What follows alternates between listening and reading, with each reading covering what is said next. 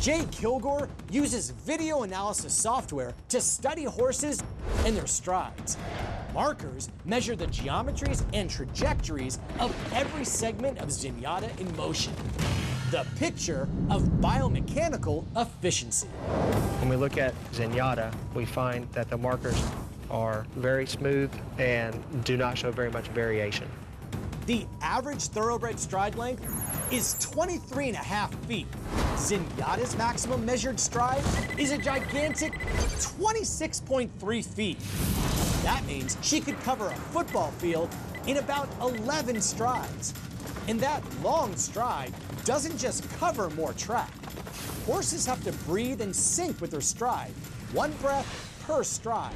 And longer strides mean longer, deeper breaths, filling her lungs with muscle fueling oxygen. What's amazing about Zenyatta is she's able to lengthen her stride in the home stretch when most horses are shortening up.